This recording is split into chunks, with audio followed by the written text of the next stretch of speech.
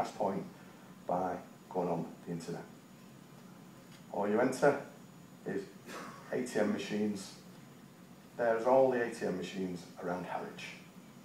They are not the ones that are holes in the wall in the bank, they are the standalone ones. They're the ones that are in your NISA supermarkets, the ones that stand on the corner on their own on the streets.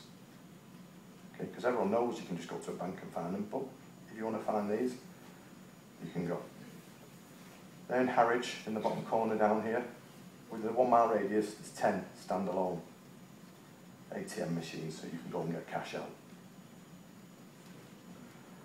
We came across a group of enterprising Liverpudlians last year.